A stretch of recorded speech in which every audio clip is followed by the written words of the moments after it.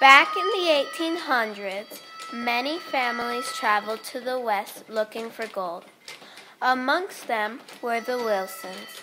Tom and Mary Wilson had a dream of owning a general store, but it was hard in the overpopulated land of the East. By coming here, they were hoping their dream would come true.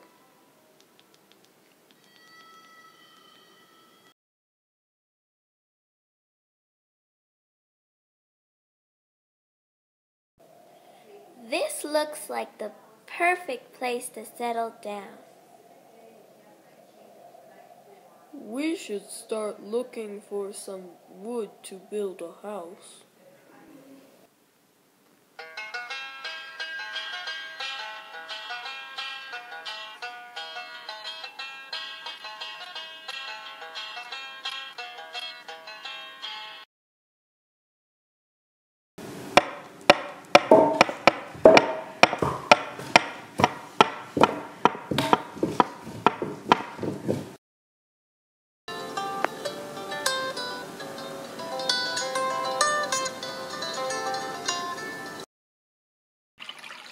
Once they built the house, they went to the nearest river and started panning for gold.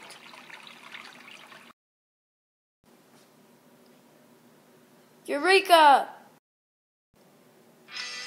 The Wilsons had found the biggest gold reserve in the country. With all this gold, they were finally able to build the general store they always wanted. I remember when my father used to tell me that his dream had always been to have a general store. Let me tell you something, son. My dream has always been to have a general store.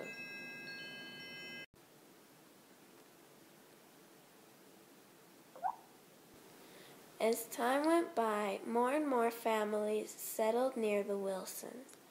All these new people meant more customers for the general store. So Tom and Mary got a lot of business. The community prospered and it eventually became known as Wilsontown.